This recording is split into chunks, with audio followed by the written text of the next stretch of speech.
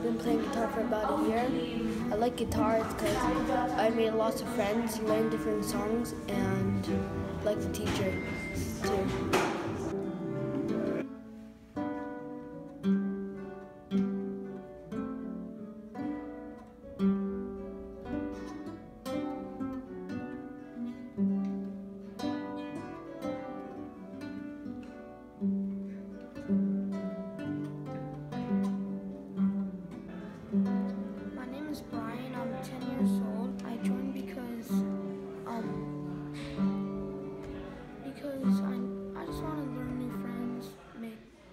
Music together.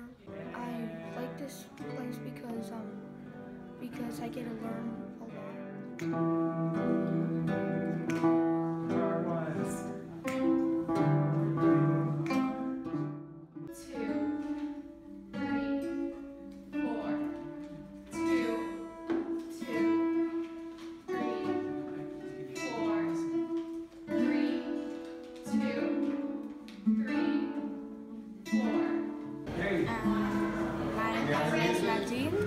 And uh, I live down the street.